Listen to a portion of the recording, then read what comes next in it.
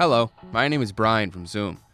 In this video, I'm going to show you how to properly update the F4 or the F8's firmware. First, insert your SD card into a computer's SD card slot. Next, open your browser and go to zoom-na.com and navigate to the Support and Downloads tab on the upper right of the screen. Next, select the device in which you are updating. For the purpose of this video, we are going to update the F8. Click the link for the newest firmware on the list on the right. This will download the update folder. Navigate to your downloads and extract the contents of the folder. Drag the .bin file onto your SD card's root directory. Safely eject the SD card and insert it into SD card slot 1 on your F-Series device.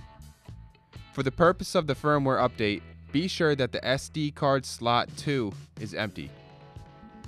Install new batteries or use the dedicated power adapter to power the device. Please note that the firmware will not update if the batteries are too low. While holding the play slash pause button, power on the device. Select yes to begin the firmware update. Once the firmware update is complete, restart your device. For more information and product support, visit zoom-na.com.